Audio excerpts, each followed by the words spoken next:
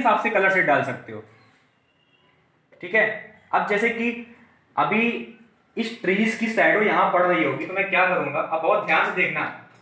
अब जो मैं कलर शेड बना रहा हूँ ना, हल्का सा अल्ट्रा मरीन ब्लू ले रहा हूँ, ठीक है? अल्ट्रा मरीन ब्लू और स्कारलेट ले रहा हूँ। कैडमियम रेड भी ले सकते हो। Ultramarine blue and scarlet red और कैडमियम रेड भी आता है। या वर्मिलियन आता है, वो भी यूज़ कर सकते हो, कोई दिक्कत नहीं है। बस कलर शेड लगाना कैसे, वो मैं करके दिखा रहा हूँ। अब नॉर्मली एक बिना डर के ऐसे कलर शेड लगा दो, आराम से। बिना डर के काम करना है, देखो। ऐसे पैच अप्लाई कर दो। अभी क्यों किया कि आपको समझ में आ जाएगा।